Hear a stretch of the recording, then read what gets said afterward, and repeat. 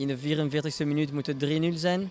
Het wordt 2-1 met een tegenaanval en een penalty. Dus uh, uh, wij hebben ervoor gezorgd dat de wedstrijd uh, spannend is gebleven. En, en ja, wat, kunnen we doen, wat kunnen we meer doen als we blijven werken? Probeer vertrouwen aan, iedereen te geven. Het is al heel positief denk ik dat we veel kansen creëren.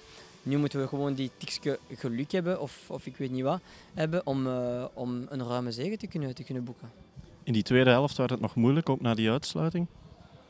Ja, het was niet speciaal moeilijk. Het is gewoon wat lager zakken en daar wachten op hun, op hun lange bal en gewoon georganiseerd blijven. En ze hebben niks, niks gecreëerd. Met, met, dat we met 10 of met 11 waren, hebben ze niks gecreëerd.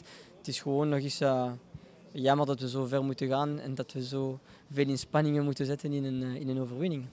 Het belangrijkste blijft echter die drie punten.